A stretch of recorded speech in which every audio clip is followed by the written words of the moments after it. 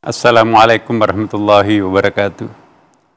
Ada orang arif mengatakan bahwa orang yang selalu menyalahkan orang lain, maka itu pertanda orang itu masih harus belajar.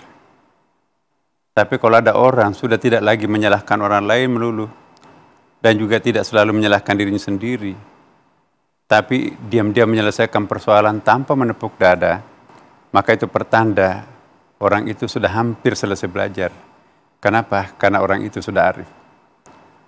Semua orang arif itu pintar, tapi tidak semua orang pintar itu arif.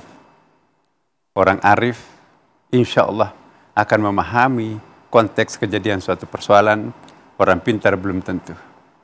Karena itu, para pemirsa, mari kita mengintrospeksi diri kita sendiri untuk tidak langsung sering menyalahkan orang lain.